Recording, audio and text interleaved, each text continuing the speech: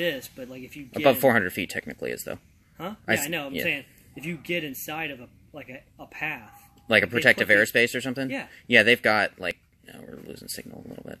Um yeah, there are spots that are protected airspace. Um they they make a um device that will Maximum flight altitude reached. there you go. 1640. But look around.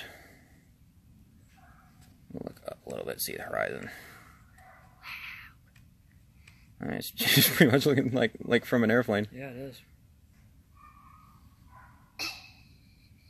So we got some smoke going on over there. There's the sun. Can I focus down here? Nope. It's locked on. You got some sort of fire going on over there and over there. Some river.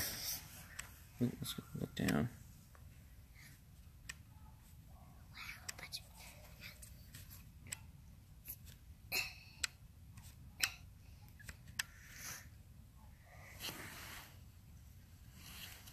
That's your neighborhood there, I think.